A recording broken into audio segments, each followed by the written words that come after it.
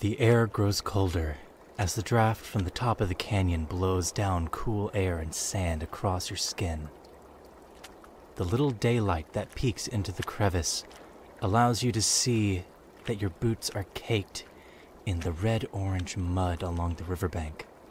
One of your party members stops as they hear something. The ranger whispers and halts the party. You look around and see nothing.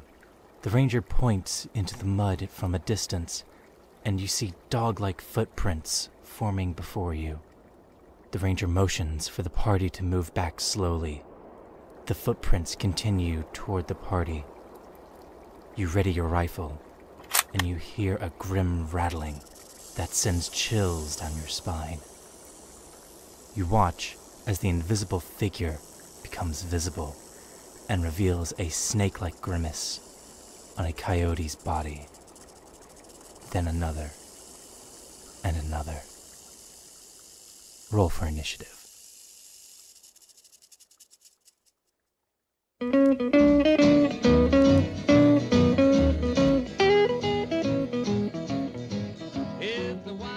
Howdy, Wastelanders. It's Hunter from Fallout 5e with another update. Fallout 5e's supportive fans have truly made this project what it is today. And I would like to start off with thanking my wonderful patrons on Patreon. Without you, Fallout 5e would probably still be a set of janky rules and half baked ideas. Fallout 5e has come so far, and now I want to do more. And you can help by becoming a patron and helping reach goals. At $20, I will start doing content creation streams once a month to give you all a sneak peek at what is to come in the future of Fallout 5e. At $25, I will begin work on a Fallout 5e campaign setting for the New California Republic in the year 2280. This will show the state of Fallout's western United States 38 years after the events of Fallout 2.